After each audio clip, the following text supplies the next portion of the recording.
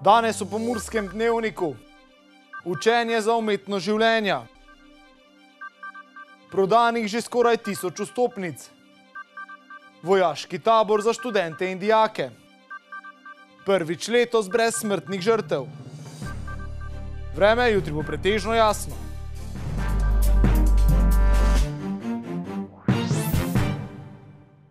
Spoštovane gledalke, cenjeni gledalci, lepo pozdravljeni.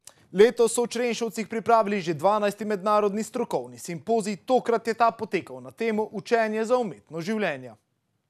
V Črenšovcih je že 12. potekal mednarodni strokovni simpozij, letos so vključili tudi umetniško tematiko. Mi namreč že res imamo izkušnje s tem in smo uh, se lansko leto odločili, da bomo v ta naš simpozij vključili uh, te umetniške, estetske stvari, ki obogatijo naše življenje in mislim, da morajo obogatiti tudi življenje učencev, predvsem te tradicionalne, uh, kot so likovna umetnost, oblikovanje iz različnih materijalov, potem razne sprostitvene tehnike. Uh, Glasba, recimo, ne, tega je v šoli premalo in mislim, da bi temu morali posvečati več pozornosti. Zato smo se odločili za to temo.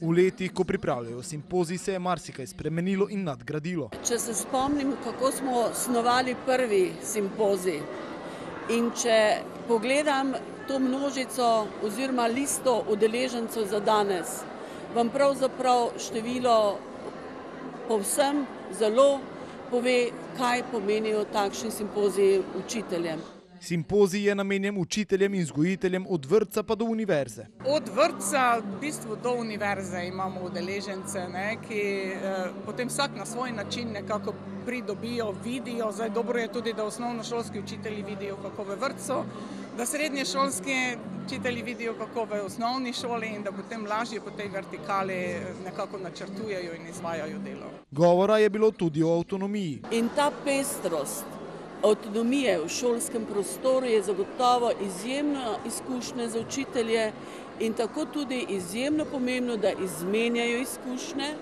predstavijo primere dobre prakse na tem področju in seveda tudi se seznanijo z nekimi eh, sodobnimi pristopi, sodobnimi področji na področju torej, avtonomije. Več o predavateljicah pa je povedala Marija Horvat. V slovenskem merilu smo res izbirali predavateljice, ki na tem področju lahko marsikaj dajo. Tak, recimo gospa Saša Anzidler na področju samopodobe, ki je zelo, zelo pomembna. Gospa uh, Alenka Rebula, recimo ne kot pisateljica, kot uh, nam bo povedala o učiteljih, o klicu učitelja, ali smo res nenadomestljivi, ali pa kakšna je vloga v današnjem času učitelja. In dr. Katarina Habeona bo pa res povezala to glasbo z uh, delovanjem intelekta.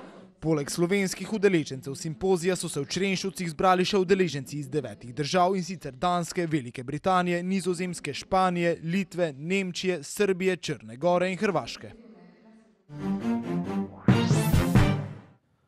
Še manj kot teden dni nas loči od štajersko-prekmurskega derbija med Mariborom in Muro, ki bo odigran v soboto v Ljudskem vrtu. V Murski soboti so prodali že skoraj tisoč vstopnic. V tednu, ki je pred nami, se po skoraj treh mesecih premora vrača prva slovenska nogometna liga. Mura bo že v prvem krogu odšla na vroče gostovanje v Maribor, kjer bo imela izdatno pomoč z tribun. V tem trenutku je za severno tribuno, kjer bomo nastanjeni navijači Mure, prodanih že več kot 800 vstopnic. Polni se že tudi drugi avtobus v organizaciji kluba, so sporočili na uradni Facebook strani Mure. Tako kot vedno bodo v ljudskem vrtu prisotni tudi člani navijaške skupine Black Gringos, ki so včeraj v centru mesta izobesili transparent in naj napisali vsi v Maribor. Predvideva se, da bo Muro v ljudskem vrtu bodrilo med 1500 in 2000 navijačev. Slovenska vojska tudi letos ponuja študentom in polnoletnim dijakom možnost, da se prijavijo in udeležijo dvotedenskega vojaškega tabora, ki bo potekal od 1. do 14. julija. Vojaški tabor bo potekal v vojašnici Boštjana Kekca na Buhinski, Beli in njeni okolici ter na vadbišču Poček. Zadnji rok za prijavo na razpis pa je 19. marec, piše Slovenska tiskovna agencija. Udeležence tabora bodo izbrali glede na prednostni vrstni red. Prednost bodo namreč imeli študenti fakultet, kjer se uspešno upravljen vojaški tabor šteje kot upravljena študijska obveznost oziroma vojaška ali obvezna praksa. Na to sledijo drugi študenti ter polnoletni dijaki srednjih šol, ki morajo biti polnoletni že v prijavi na razpis objavljen na spletni strani slovenske vojske. Vsi kandidati morajo imeti slovensko državljanstvo. Udeležba na taboru seveda pomeni povečano psihofizično obremenitev, udeleženci bodo podvrženi pravemu vojaškemu usposabljanju ter vojaški disciplini. Program je zanimiv in kakovosten, zato ga nekatere fakultete pri določenih predmetih priznajo tudi kot upravljeno obvezno prakso. Dobra novica povezana s slovenskimi cestami. V preteklem tednu namreč ni bilo prometne nesreče s smrtnim izidom. To je bil letos sploh prvi teden, ko je črna statistika ostala prazna. Prometna varnost z vidika števila žrtev je na kljub prvemu tednu brez smrtnih žrtev še vedno bistveno slabša kot v enakem obdobju lani. Najbolj tragični obdobji sta bili začetek januarja in začetek februarja. Policija je zato poostrila nadzor, ki tako morda že kaže prve učinke, piše STA. Policisti so ob tem zaznali največ kršitev povezanih z neprimerno hitrostjo, uporabo telefona med vožnjo, neuporabo varnostnega pasu, nepravilnostmi pešcev in vožnjo pod vplivom alkohola. Letos so slovenske ceste sicer terjale 14 življenj, v enakem obdobju preteklega leta pa 7, so sporočili z generalne policijske uprave. Pred nami so lepi dnevi, ki bodo tudi na ceste zagotovo zvabili motoriste. Toda pozor, razmere na cesti še niso primerne oziroma so celo nevarne za vožnjo z motornim kolesom. Asfaltna površina je namreč še vedno hladna in onemogoča optimalno premljivost pneumatik, obenem pa je na cestah tudi pesek, opozarjajo na Agenciji za varnost prometa. Motoristi po ocenah Agencije za varnost prometa spadajo med ranljivejše skupine udeležencev, saj so zaradi značilnosti motorja slabše vidni in opazni, pogosto vozijo prehitro oziroma jim drugi vozniki spregledajo ali odzamajo prednost.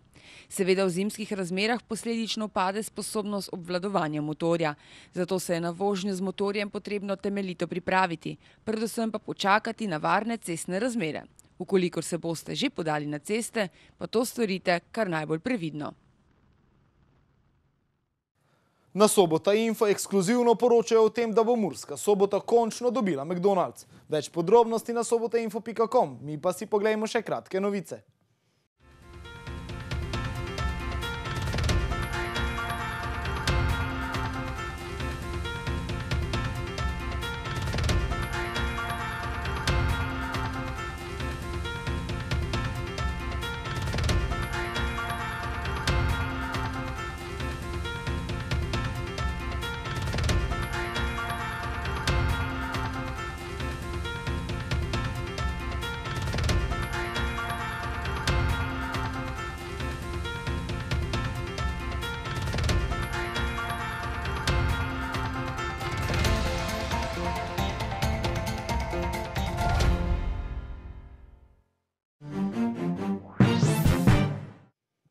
Jutri bo pretežno jasno, ponekod na primorskem in notranjskem pa se bo pooblačilo.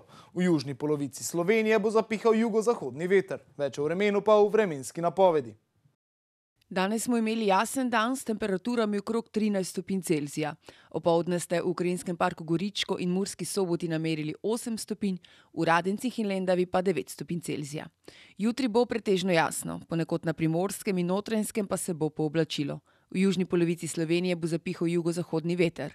Najnižje jutranje temperature bodo v severovzhodni Sloveniji, torej v Murski soboti in Mariboru okoli minus 4, dnevne pa okrog 13 stopinj Celzija.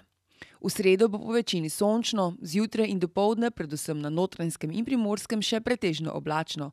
V četrtek bo na zahodu delno jasno, drugod zmerno do pretežno oblačno. Temperature v naših krajih se bodo zjutraj gibale od minus 2 do 3, čez dan pa od 10 do 12 stopinj Celzija. Toliko smo vam pripravili v današnjem Pomurskem dnevniku. Za več informacij obiščite našo spletno stran. Bodite v naši družbi in nasvidenje do prihodnič.